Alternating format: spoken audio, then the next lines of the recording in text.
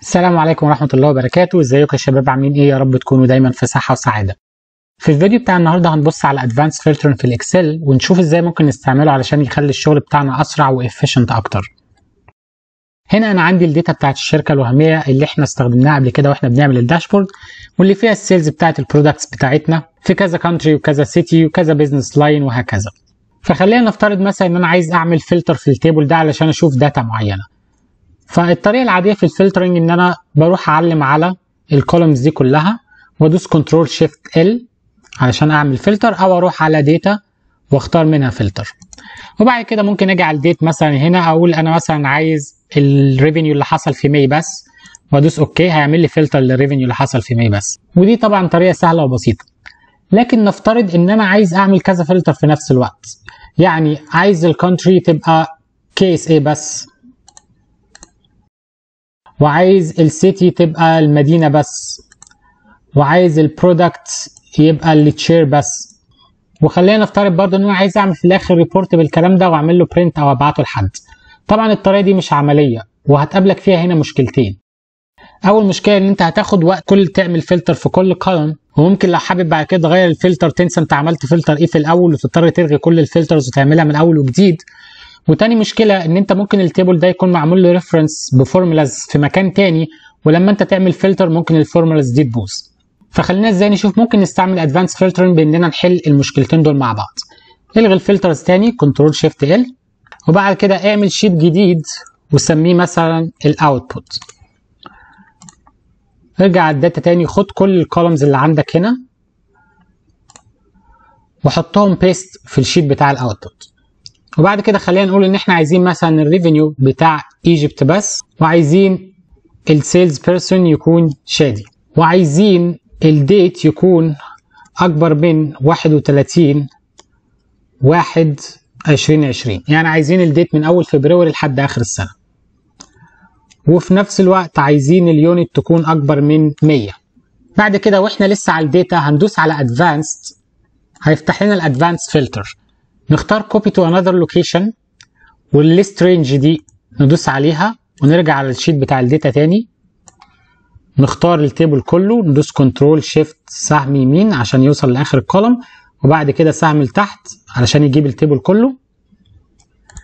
وبعد كده في عندك تاني حاجة ال criteria range هتعلم عليها برضو وتختار ال table الصغير اللي إحنا عملناه هنا. وتالت حاجة بيقول لك copy to يعني عايز تعمل لها copy فين. فخلينا نحطها في A1 بعد كده ندوس enter وندوس okay هنلاقيه هنا جاب لنا كل ال data اللي هي في Egypt بس واللي ال sales person بتاعها شادي واللي ال unit بتاعها أكتر من 100 تقدر تاخد ال report ده تطبعه أو تبعته لأي حد براحتك. وخلينا نقول مثلا إن إحنا مش عايزين كل ال table ده بس عايزين columns معينة من ال table بس اللي تجيلنا. برضو في طريقة سهلة ممكن نعمل بيها كده. اعمل clear لده. وارجع تاني على ال data. قول مثلا إن أنت عايز ال date وعايز ال sales person وعايز ال amount بس هما دول ال columns اللي أنت عايزها. وخدهم copy وحطهم هنا paste وارجع تاني على ال data دوس advanced copy to another location واختار ال list range هي هي.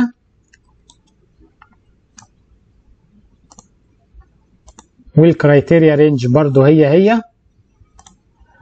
وهنا في copy to بدل ما تختار A1 علم بس على ال three columns اللي انت عايزهم.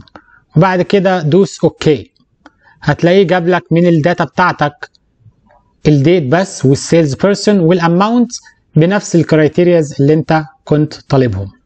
طبعا هنا لو انت عايز تغير ال criteria لو انت مثلا عايز بدل Egypt عايز تجيب KSA مثلا فبقى كده لازم ترجع تاني تدوس advanced وتكرر كل الخطوات دي تاني. تعمل ال list range من الأول وتحط ال criteria من الأول وتعمل copy to علشان يطلع لك ال data. بس إحنا طبعا مش عايزين كده. إحنا عايزين نخليها dynamic بحيث إن إحنا مجرد ما نغير أي حاجة في ال filters هنا ال data بتاعتي تتغير directly وهنعمل الموضوع ده بمساعدة ال macros. وال macros زي ما أنتم عارفين هي وسيلة جوه ال Excel بتساعدك إن انت تعمل automation لل task اللي انت بتكررها كتير. يعني لو انت في خطوات كتير بتعملها ورا بعض وعايز تعمل لها automation ممكن تستخدم ال macros بان انت تسجل الخطوات دي وبعد كده بتدوس على shortcut واحد يعمل لك كل الخطوات دي ورا بعض. فأوريكم دلوقتي إزاي نسجل ال macro. امسح دول.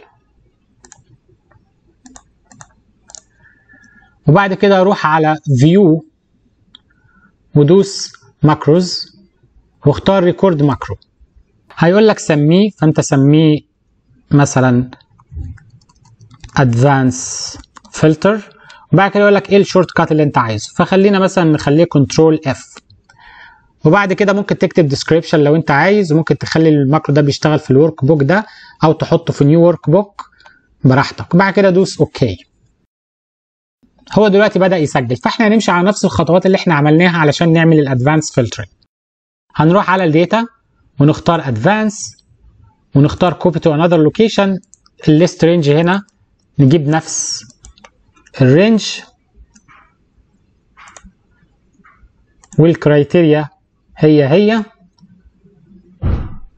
وال copy to خلينا نعملها A1 بعد كده ندوس okay هنا جاب لنا كل ال data طبقا لل filters اللي إحنا حاطينها بعد كده نروح على view وندوس على macros تاني وندوس stop recording خلينا بقى نشيل ال filters كلهم delete بعد كده ندوس على ال shortcut اللي إحنا عاملينه ال macro control F.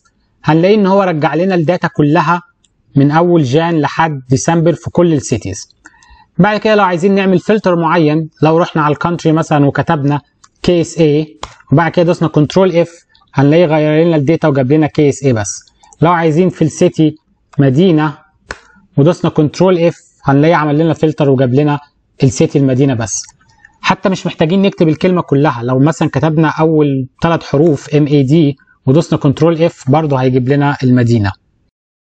لو جينا في ال business line هنا وكتبنا كلمة bed بس ودوسنا control F هيجيب لنا كل ال bedroom ودي طريقة امن وأسرع. بدل ما نقعد نعمل filters في ال sheet بتاع ال data ممكن نعمله في ال sheet بتاع ال output ده ولو محتاجين بعد كده نعمل report أو نعمل print لأي حاجة هيبقى سهل إن إحنا نغير اللي إحنا عايزينه ونعمل print مرة واحدة. again خلينا نكمل test لو مثلا عايزين ال sales person يكون علي وفي نفس الوقت ال price يكون أكبر من 200 بعد كده control F هنلاقي جاب لنا علي وجاب لنا ال units اللي ال price فيها بس أكتر من 200 الطريقة دي ممكن تساعدك في حاجات كتير. لو أنت مثلا شغال في ال AP أو ال AR وعايز تعمل report بتاع client معين أو بتاع supplier معين هيبقى سهل عليك لو أنت عندك ال data في sheet تاني وعايز تجيب بس ال data اللي ليها علاقة بال client ده ممكن تعمل مثلا reset حتى لو أنت مش حافظ اسم ال client كله وتدوس control F هتلاقي جاب لك